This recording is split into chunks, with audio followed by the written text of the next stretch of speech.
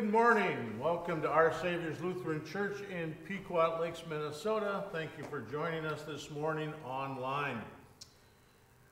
Like many churches, we too have um, suspended our in-worship services due to the increasing numbers within our state with COVID and out of respect for our healthcare workers who quite frankly are already overwhelmed, weary, and exhausted. No sense adding to the mix. So, for the time being, we will be doing these services online. And once again, thank you for joining us today. Today is Christ the King Sunday. It is the last Sunday in the liturgical church year. Next Sunday, we will enter into the season of Advent. Everything will be, all of our colors and so forth will be blue. And to, to recognize and to celebrate that day, we have Pastor Nate Lundgren, who is a retired pastor from the area who will be filling in for, uh, for me on that Sunday. Today is also, or would have been, or still is, kind of our Harvest Sunday. In other words, it's supposed to have a bit of a stewardship emphasis. We'll see how that goes. This is also the Sunday where our women of the ELCA here at Our Saviors will We'll be asking you to, or inviting you to turn in a thank offering envelope to help support their ministries. As a part of our worship service, we are also blessing quilts, which you may have noticed around here. Also, we are, we are going to be including in that some uh, baby care kits. Um, I should mention we have about 50 bless, uh, quilts to bless. We have about 100 uh, baby care kits that Debbie Stiltman has put together. Each one of these, let me see if I can find one. Oh, well, just happens to be two right here. Each one of these packets has uh, a towel, a washcloth, soap, a blanket, diapers, a hat, and a t-shirt. So, a lot of work, time, and energy went into that, and we are grateful for that. So, we will be lifting all of these things up. I think that suffices for the announcement, so I invite you to join me with the call to worship.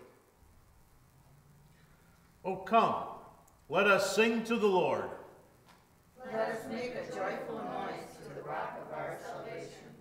For the Lord is a great God, a great ruler over heaven and earth. With sincere and repentant hearts, let us name our sins against Christ and one another. Lord Jesus, Judge of the nations, we confess that we have not seen your face among our neighbors in need. We have not shared our food with the hungry. We have not offered clothes to the destitute or shelter to the homeless. We have not welcomed the stranger, nor have we visited prisoners. We have not paid attention to these, your sisters and brothers, and in our neglect, we have failed to serve you. Lord, forgive us. Open our eyes to recognize your beloved family, and give us the blessing of sincere repentance, that we may know the joy of eternal life with you and all the saints in this world to come. Amen. Brothers and sisters, God seeks the lost sheep and feeds them with justice forgiven and freed. Turn then and, and live in Christ our Lord. Amen.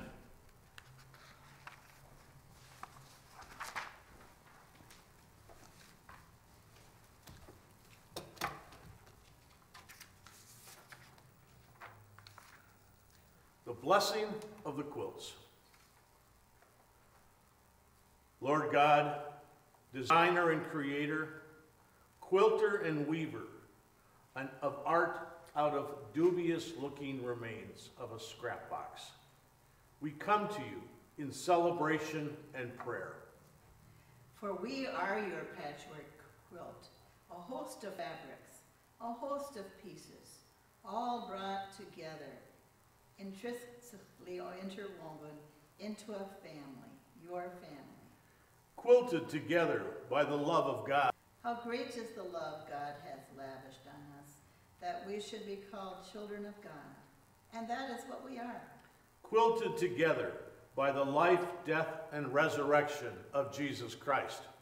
For God so loved the world that he gave his only Son, that whoever believes in him shall not perish, but have eternal life. John 3:16. Quilted together in faith by the Holy Spirit. For by grace we have been saved through faith. That is not from ourselves, is the gift of God, not by works, so that no one can boast. Ephesians 2, 8 through 9.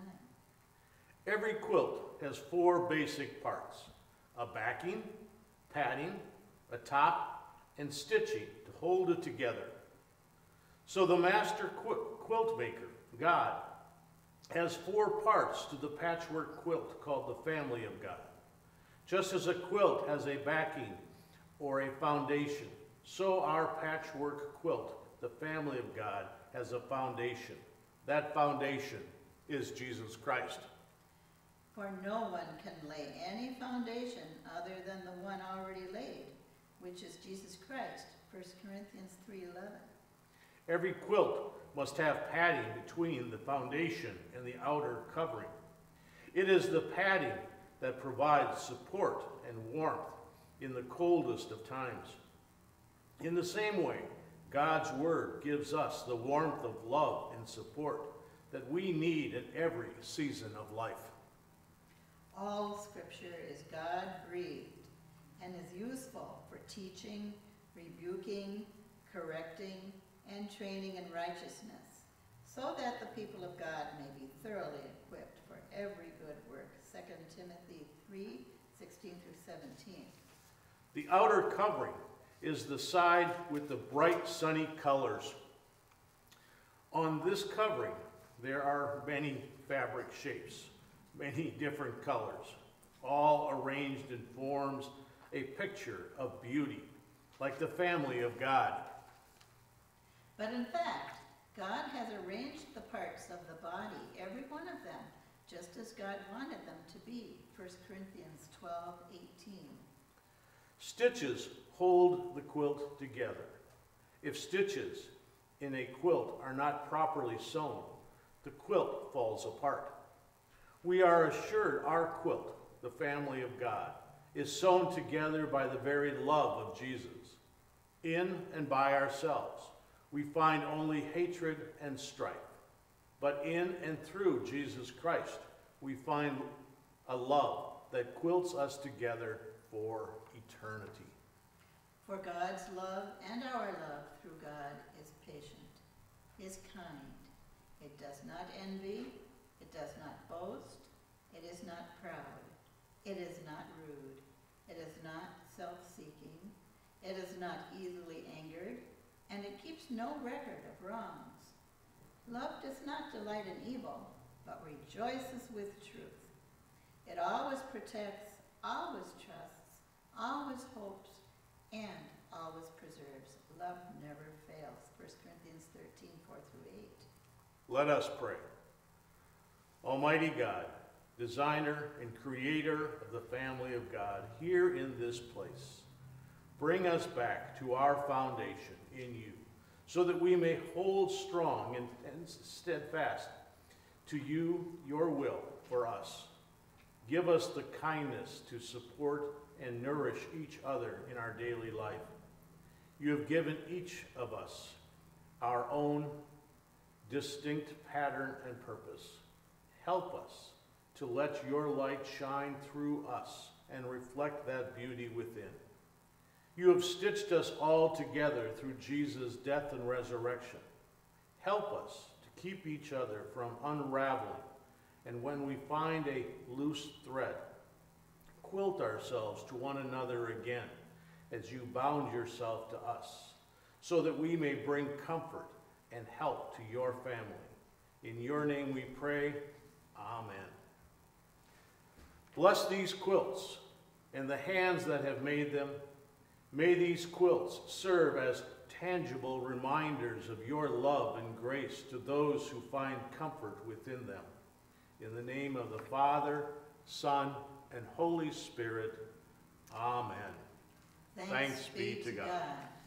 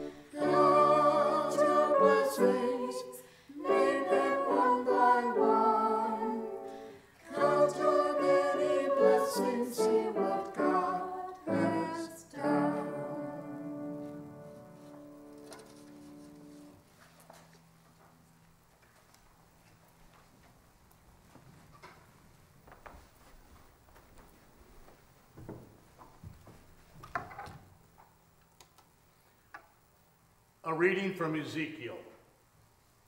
Thus says the Lord God I myself will search for my sheep and will seek them out. As shepherds seek out their flocks when they are among their scattered sheep. So I will seek out my sheep. I will rescue them from all the places to which they have been scattered on a day of clouds and thick darkness. I will bring them out from the peoples and gather them from their countries. And I will bring them into their own land, and I will feed them on the mountains of Israel, by the watercourse, and in all the habited, inhabited parts of the land. I will feed them with good pastures, and the mountain heights of Israel shall be their pasture. There they shall lie down in good grazing land, and they shall feed on rich pasture on the mountains of Israel. I myself will be the shepherd of my sheep, and I will make them lie down, says the Lord God. I will seek the lost, and I will bring back the strayed, and I will bind up the injured, and I will strengthen the weak. But the fat and the strong I will destroy. I will feed them with justice.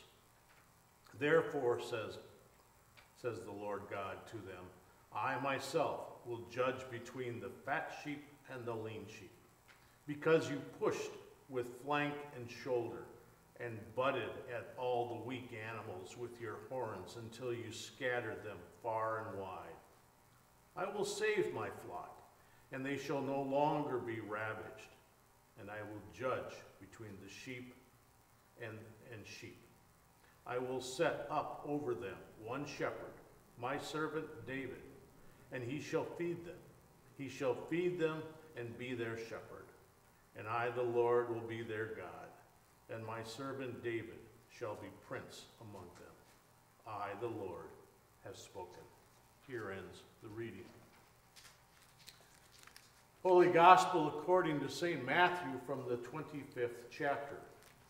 Jesus said to the disciples, When the Son of Man comes in his glory, and all the angels with him, then he will sit on the throne of his glory.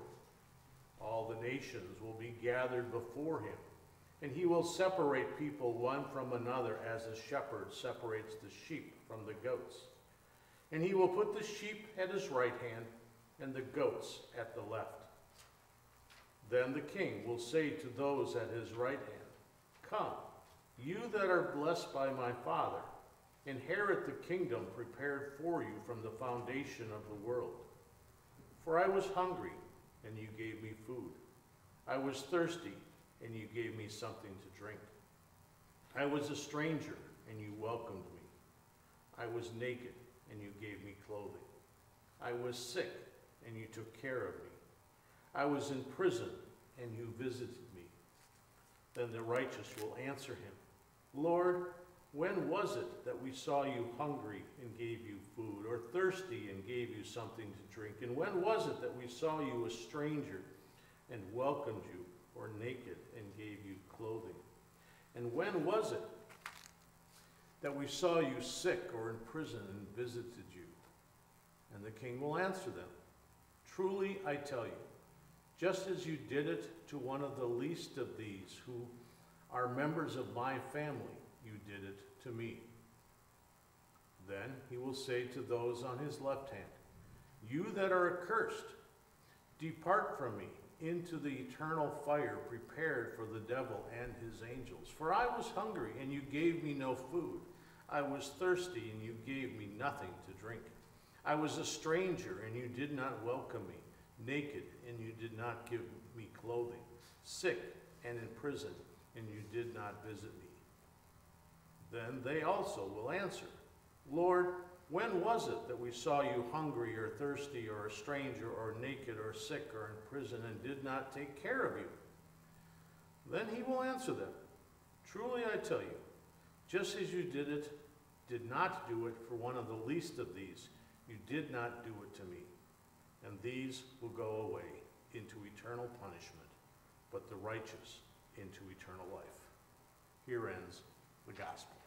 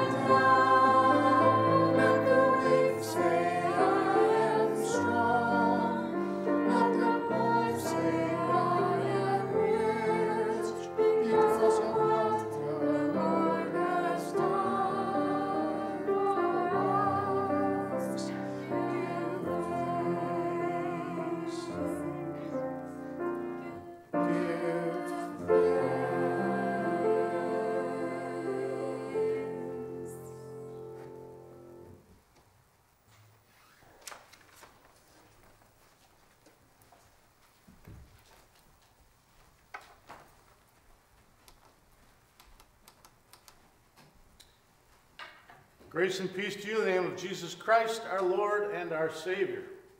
As I mentioned earlier on, today is Christ the King Sunday, the last day in the church calendar, the liturgical calendar.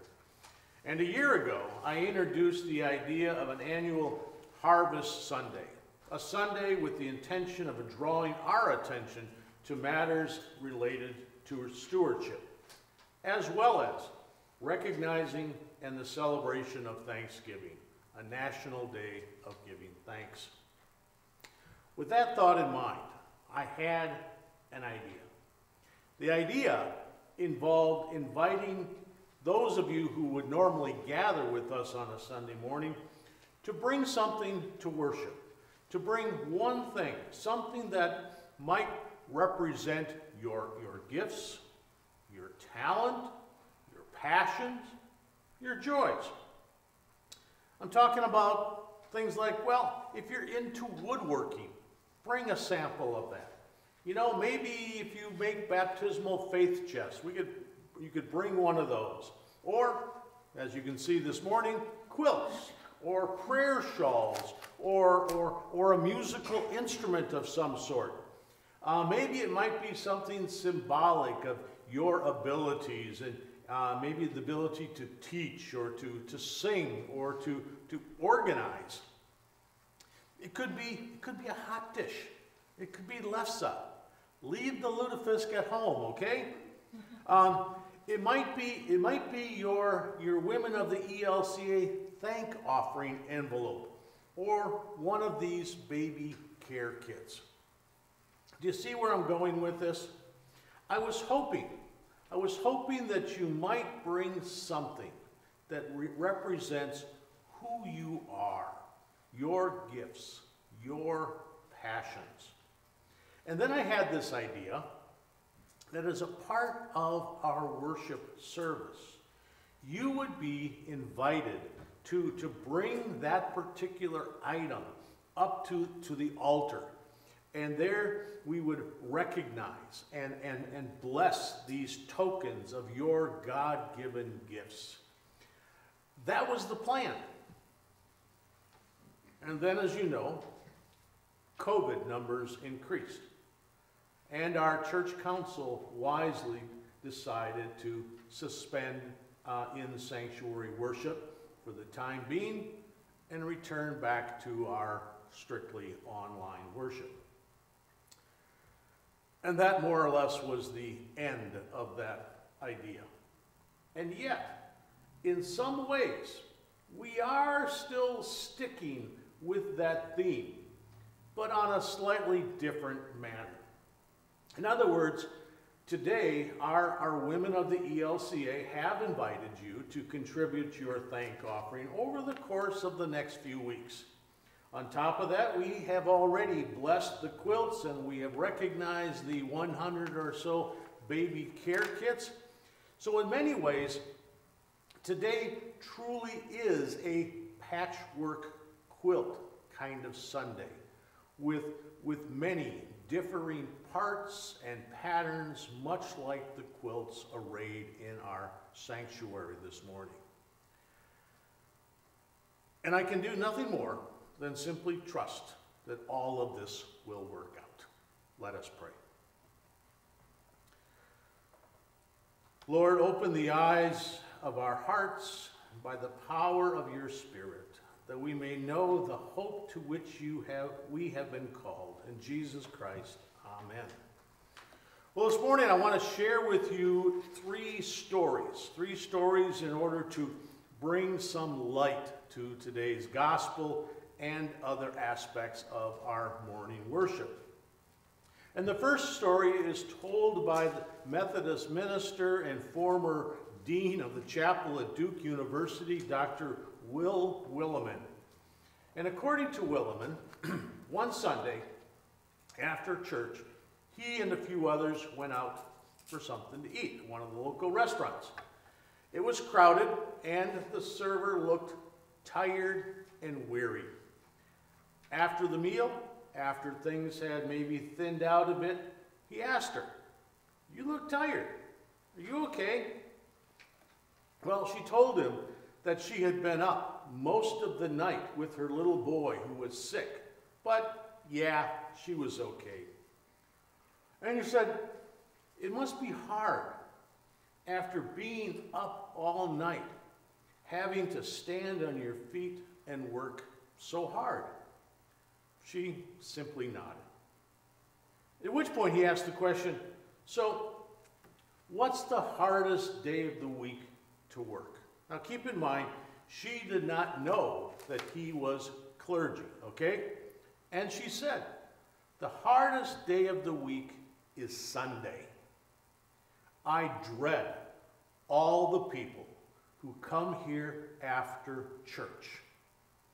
They make so many demands, and some of them are so hateful, and they never tip hardly anything. Ouch, that hurts. Now, Willimon tells that story in the context of a discussion that might be fruitful to have on this particular Sunday morning. And the question under discussion is where is Jesus? As I mentioned, it's Christ the King Sunday on the liturgical calendar. And with that in mind, and in light of the parable of the sheep and the goats, it is also a good time to ask the question where is Jesus? Now, many of our evangelical brothers and sisters will tell you that Jesus is in our hearts, okay? Some devout Roman Catholics and Episcopalians wear uh, or display a crucifix with Jesus' image permanently etched, attached. As Lutherans, along with Roman Catholics and Episcopalian brothers and sisters, as well as some other denominations, we will tell you that Jesus is present in the sacrament of Holy Communion, the bread and the wine. And over the years, I have talked with fellow pastors who will tell you that Jesus is in between the covers of a black leather bound book that they tend to wave around a lot when they preach. Okay? Well, I don't dis disagree or with any of these responses.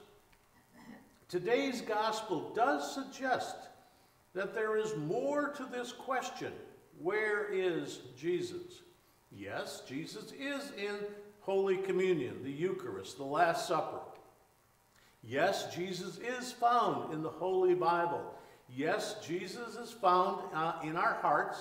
Um, and yes, some believe that crucifixes and even painted icons carry a sacred image of Jesus.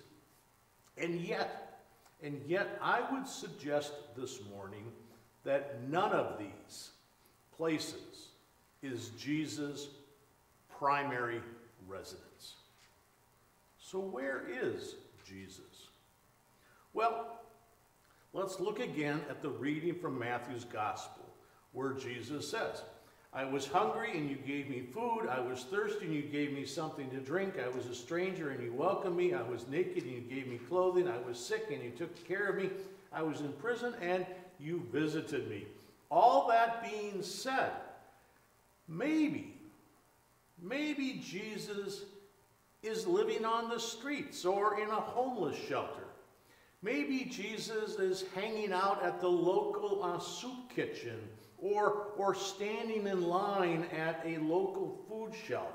Maybe Jesus is at the salvation looking to pick up a coat as the weather gets colder around here.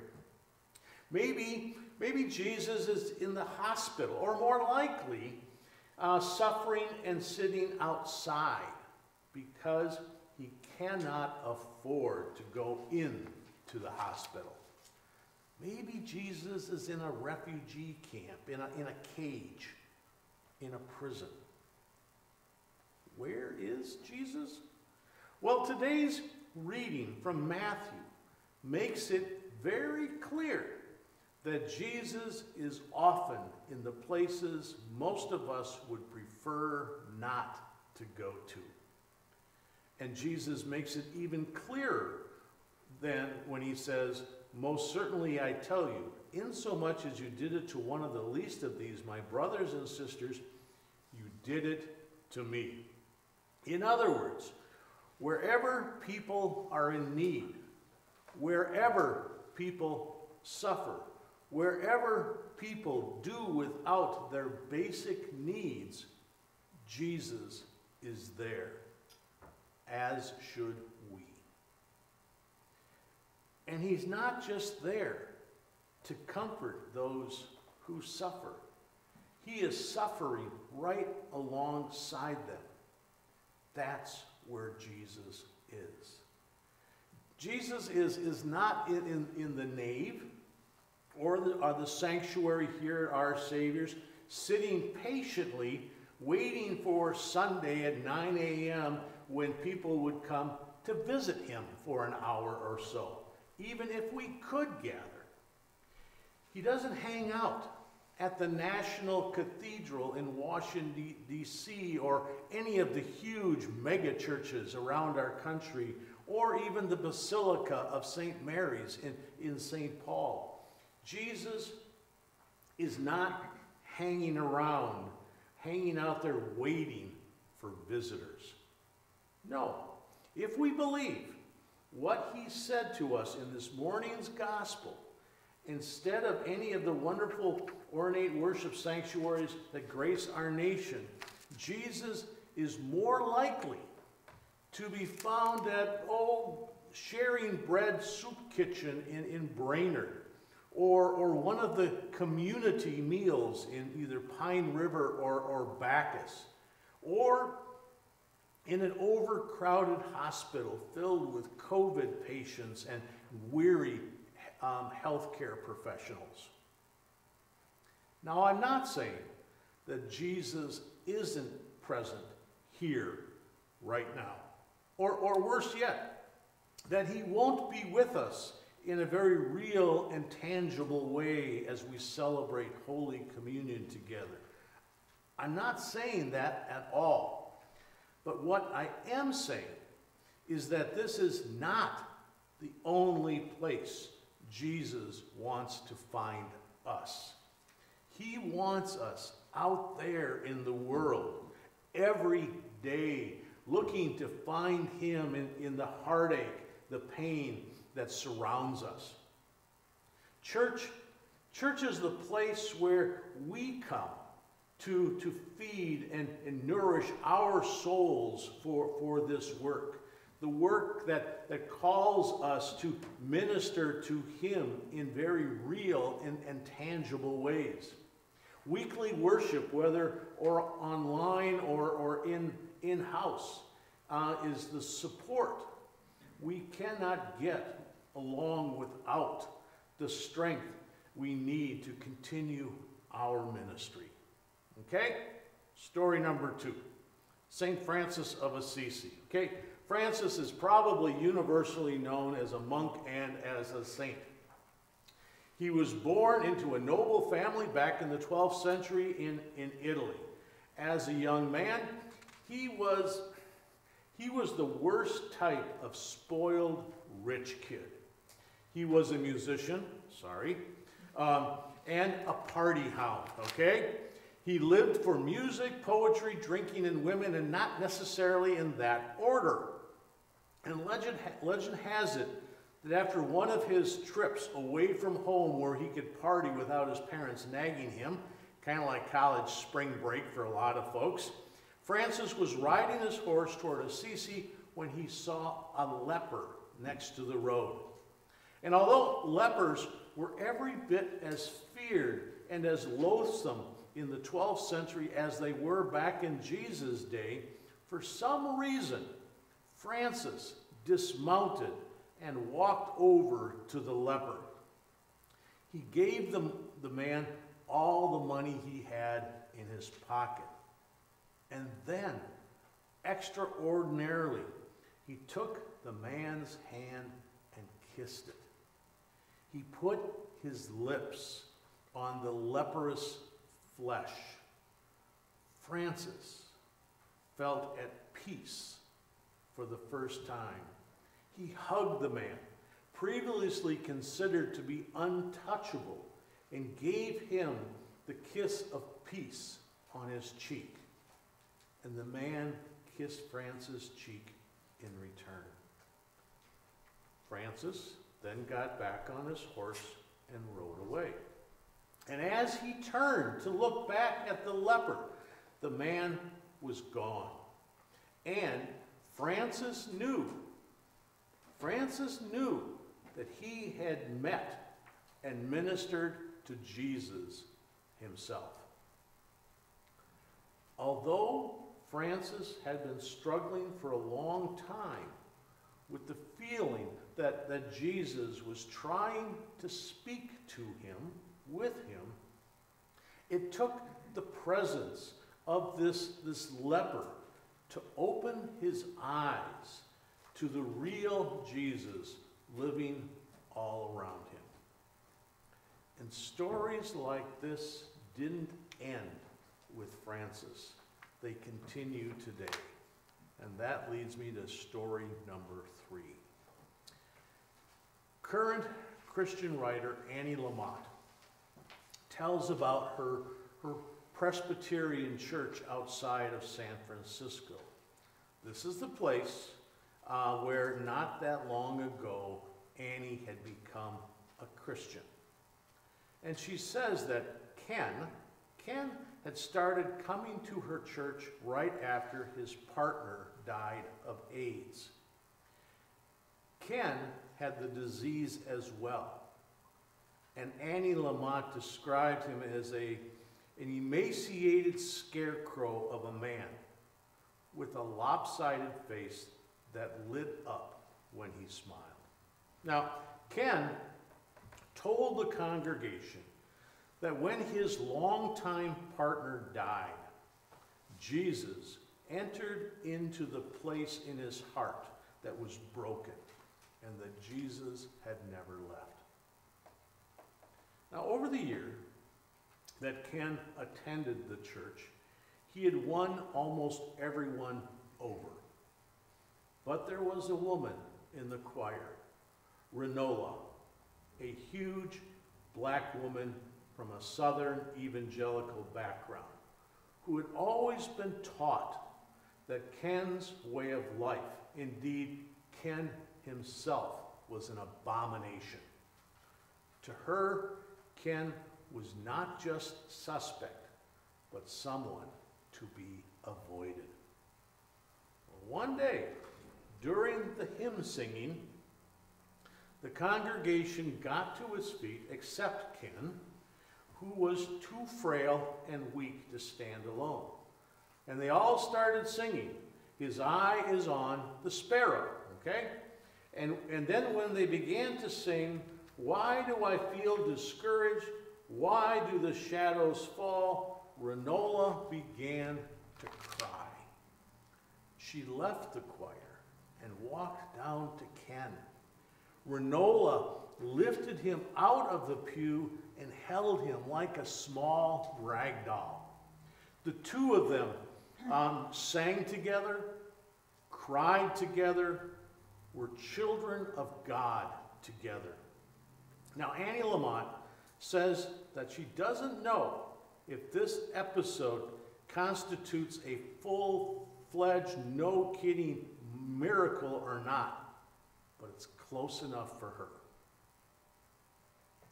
So, here is where I'm going with all this. Jesus is sitting out in the world right now, waiting not for a church service to start, but for human contact, for caring, for compassion, for kindness, for love. The, the kind of love our Lord meant when he told us to love our neighbor. So, what does all of this have to do with Harvest Sunday? Everything. Now, had you been able to bring your reminders today, your, your items that represent who you are, now is about the time when I would have invited you to bring them up and place them around the, the altar. These items would have mingled with each other, much like we used to mingle with one another prior to COVID. The plan was, as I mentioned, was to bless them, to bless them all, and send them back with you. So as, as you go back out into the world, that world where Jesus lives and suffers, as a reminder of who you are and whose you are. But I want to invite you to, to still go out into the world, mask and distance, of course, with these reminders that every aspect of your lives are a blessing. And that we are called to share those blessings with other people. We are called to share our blessings with Jesus in our everyday lives. Now, rest assured, I care about your stewardship, about your financial commitments, about your church attendance, even when it means streaming um, of this service uh, and you at home, possibly in, in your pajamas, and enjoying uh, a cup of coffee during worship, okay? Um, I also care about your activities here and, and in the community. And don't think for a moment that this odd stewardship emphasis Sunday means that I don't care about, about what goes on at our Savior's and, and how involved you are at it. I believe, I have faith that, that reminding you about the need to see Jesus in the world and to respond to the needs of Jesus in the world is also a reminder or an encouragement to you to practice generosity and gratitude in every way you can, every day, so that Jesus' work can be done by the church as well as by her members. On this Harvest Sunday, I give thanks for all of you, those of you out there sitting on your couches, around the kitchen table. I give thanks for our Saviors. I give thanks that Jesus rose from the dead and lives today. And I give thanks that He still needs and still wants us to meet Him with everything we say and do and every place we go. Amen.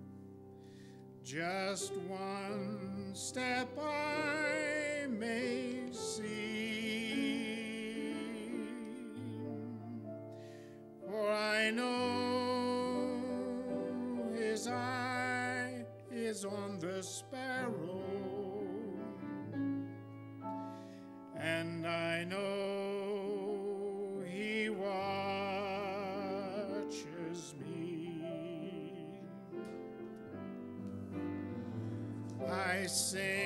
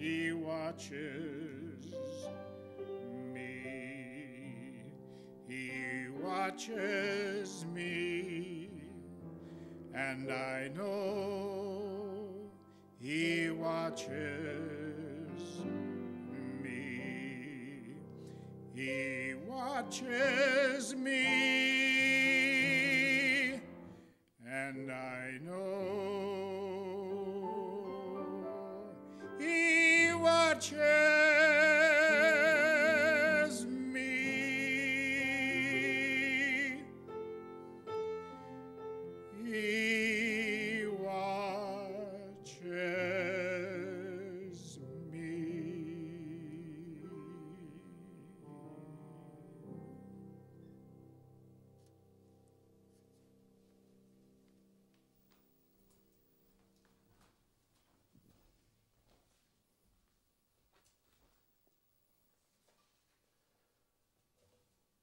God has made us his people through our baptism into Christ, living together in trust and hope, we confess our faith.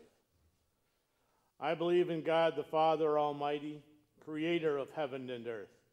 I believe in Jesus Christ, God's only Son, our Lord, who was conceived by the power of the Holy Spirit and born of the Virgin Mary, suffered under Pontius Pilate, was crucified, died, and was buried. He descended to the dead. On the third day, he rose again. He ascended into heaven. He is seated at the right hand of the Father, and he will come again to judge the living and the dead. I believe in the Holy Spirit, the Holy Catholic Church, the communion of saints, the forgiveness of sins, the resurrection of the body, and the life everlasting. Amen. Longing for Christ's reign to come among us, we pray for the outpouring of God's power on the church, the world, and all who are in need. Eternal Shepherd, we give you thanks that you continually seek us out and guide us back into your flock. Raise up faithful leaders among your people. Give them courage to, to speak in your name on behalf of justice for all. Train our ears to hear your cry in the needs of those around us. Bless all social ministries of the church through which we seek to serve others as we ourselves have been served. Hear us, O God. God, our sovereign, your rule of justice and mercy is the pattern for all good government in our world. We pray for those in power in all nations, that they might lead by example, make decisions with mercy, and rule with your guidance. Heal the sinful divisions we erect between us, and release us from systems of oppression and prejudice.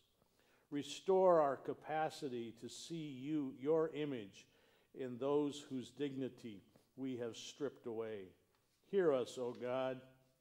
Your mercy is great. God of the hungry, the naked, the thirsty, and all who appear to be outside your grace, lead us to see your face in all whom we meet, that guided by the example of your Son Jesus, we may recognize our brothers and sisters within your family of love.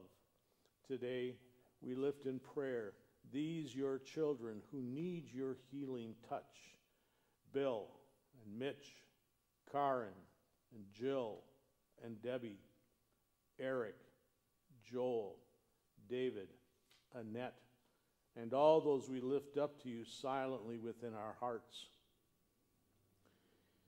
Use our hands and voices to make known your gracious goodness. Hear us, O God. God of compassion and healing, we give thanks for the hands that have shared their talents to create these quilts that will soon provide warmth and shelter for those struggling day by day. We give thanks for these baby care kits May they serve their recipients well. Hear us, O God. As our nation pauses in this forthcoming, in the forthcoming day of Thanksgiving, keep us mindful that as your children, every day is a day of giving thanks, a day of gratitude, and a day of sharing with one another the bounties of your, of your land, of this land. Instill the Spirit within us, and may our lives reflect your generosity. Hear us, O God. Receive our prayers in the name of Jesus Christ, our Savior, until that day when you gather all creation around your throne, where, we will, where you will reign forever and ever. Amen. This morning, as we celebrate the sacrament of communion, preferably by those of you who are at home, if you have had a chance to pick up one of the celebration cups at the appropriate time, I will invite you to take and eat and uh, to, to drink. Um, if you have not picked them up, keep in mind you can stop by the church here anytime to pick up a, a, a few of those. In the night in which our Lord Jesus was betrayed, he took bread, he gave thanks, and he broke it. And he gave it to his disciples, saying, Take and eat. This is my body given for you. Do this for the remembrance of me. Then after supper, he took the cup, gave thanks, and gave it for all to drink, saying, This cup is the new covenant in my blood, shed for you and for all people. Let us pray. Our Father, who art in heaven, hallowed be thy name. Thy kingdom come, thy will be done on earth as it is in heaven. Give us this day our daily bread, and forgive us our trespasses, as we forgive those who trespass against us. And lead us not into temptation, but deliver us from evil. For thine is the kingdom, and the power, and the glory, forever and ever. Amen. The body of Christ given for you.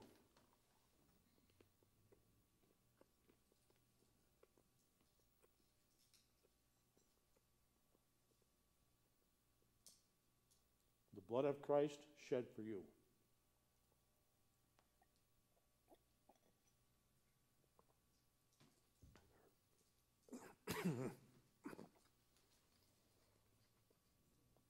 Let us pray. Lord Jesus, in this simple meal you in this simple meal you have set a banquet. Sustain us on the journey. Strengthen us to care for the least of your beloved children. And give us glad and generous hearts as we meet you on the way. Amen. Our God calls us to do justice. May you find strength in God's grace. Amen. Christ Jesus calls us to love kindness. May you find comfort in Christ's gentleness. Amen. The Holy Spirit calls us to walk humbly with our triune God. May you always find joy in God's love and justice. Amen. Holy Trinity, one God, bless you now and forever. Amen.